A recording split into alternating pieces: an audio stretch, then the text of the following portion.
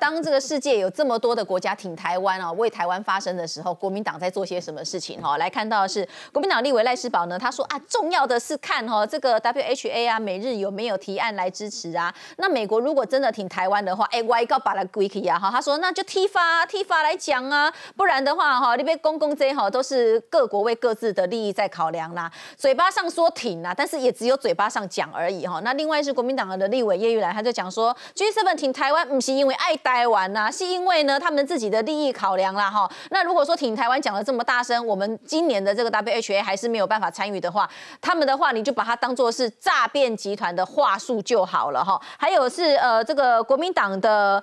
呃，党团副书记长陈玉珍他说，千万不要忽视两岸关系也是重中之重哈。反正他也蛮是被砍嘎的两岸题啦哈。然后呃，许淑华的部分呢，他说为什么美国跟这一些大的国家啊，总是好像要挑起我们台湾这个火药库的那种味道？我们很希望哦，在这种言论上面呢，尽量不要提到台湾比较好。来，正浩综合来看哈，你觉得国民党怎么了？呃，国民党就是忘记他的创党精神，叫做反共救国。我觉得就那么简单。其实刚刚宇韶老师说了。对了，你不要以为像法国或英国，甚至是美国这种老牌的民主国家，他们可以达到两党高度共识是非常非常简单的，很难。过去包含英国下议会两边的距离叫做两剑之隔，就是说。比喻，他们吵架会吵到拔剑，然后两边的西洋剑的两对对对拔剑两剑之隔。但是当然，实物上没有人真的带剑，没有人真的拔剑。可这是在形容他们过去会因为不管是左派或右派的不同的政治价值，在争吵的过程中是非常非常严重的。可问题是哦，他们既然会因为一个议题而达到共识，那叫反中，这是非常非常罕见的。共和党跟民主党。斗了几百年，英国也是，法国也是，可是他们可以因为反中而达到共识，这就是个很合理的国际推断，就是说，因为中国的扩张让每一个国家都感受到了不安全感。可问题是，为什么国民党到现在对于这件事情好像皮皮就没有没有什么感受？而且你去观察国民党每一个人的发言哦，会跟中国的内部发言完全没有区别。我觉得他可以。找寻另外一条呃台湾人民可以接受的论述，这完全没有问题。他也不见得要跟民进党拿香跟拜，因为他们现在呃自尊心很很重，很容易玻璃心。只要有人呢稍微称赞民进党一点点好，比如朱立伦说这个外推做的不错，马上国民党玻璃心碎满地，围攻朱立伦，然后朱立伦就反就转弯了，就转弯了。但国民党内部确实是有是有一股非常非常重的反改革力道在里面。好了。那你要么就选一条路，就说你不要跟民进党拿香跟拜，民进党民进党抗中保台，那我就给国民党药方嘛，反共救国嘛，这完全就是你是国民党的老传统哎，国民党第一个救国团为什么会出现？它就叫反共救国团呢？这东西国民党过去一直，你不是说国民党是个有传统的政党，是个有。的什么建党精创党精神的政党，可你当初是以反共立家，尤其在台湾，可是问题是你现在完全不见了。那国民党呢，现在都用和平来做包装，说哦，我做这些事情都是为了要和平，就叶元之常常讲的。对，然后我们做这些事都是为了和平，好，我们这些事跟中国谈就是希望和平。可是回到我们整个节目的命题嘛，中国的政权，我不是讲中国人哦，我是讲现在的中国共产党是一个说话算话的政党吗？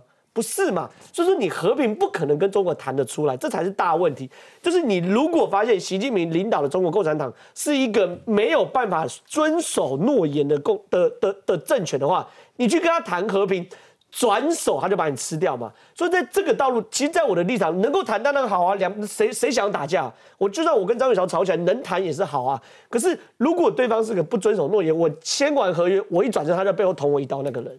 我怎么可能去跟你谈和平？所以国民党这种用交流、用谈，然后希望获取和平的路子，显然现在行不通。为什么现在行不通？因为确实哦，二零零八年、二零一二年的时候，那个时候习近平都没有露出獠牙，不只是台湾、美国，甚至西方世界很多国家都认为中国在国际上是个守秩序的国家嘛。可是呢，当习近平露出獠牙的时候，大家都警醒到习近平这个政权的恐怖的时候，国民党要赶快觉醒了，没有。继续做这种老样子、老八股，所以坦白说，我认为啦，如果连欧洲那种国家过去都吵吵了半天，都可以因为反中而互相在推一个法案的时候，国民党还执迷不悟的话，坦白说，他在全国性的选举，尤其是一对一，会非常非常困难。正好我想再请你评评论一个人哈，就是前总统马英九啦。他不是说，哎呀，小英政府，你如果要维持现状，你的维持现状就是要原汁原味的九二共识，这怎么样的状况？我觉得两回事，因为马英九一直活活在他最光辉的那个时期，就是万人迷啊、死奶杀手啊等等的。我觉得他可以醒过来，就是说，其实你看，呃，国外的元首，尤其是美国的元首。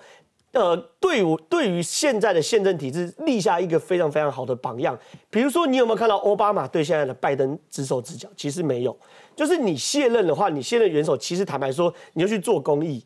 好，你去 弄基金会，好保护早教也可以，你去保护早教，就是你可以去做这些事情，保护爱护地球都可以。就是其实坦白说，我觉得人马英九，我觉得有有点抽离不了政治，就是人一辈子在政治上是非常非常痛苦的，而且你必须要不断的博取自己的政治声量，不断的引起大家的注意，你结果就是越下越重嫌嘛。现在马英九就是一个。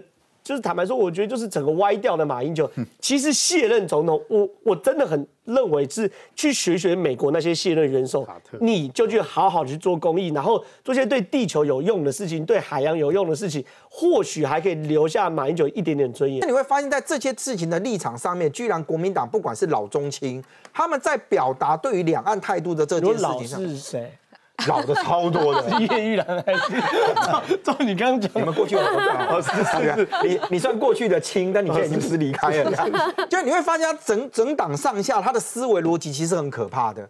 也就是说，在任何事情里面，大家提到两岸的这个稳定的状态之下，国民党的逻逻辑跟论述，哎，不对，我感觉台湾爱虎剑，因为东西台湾在挑衅。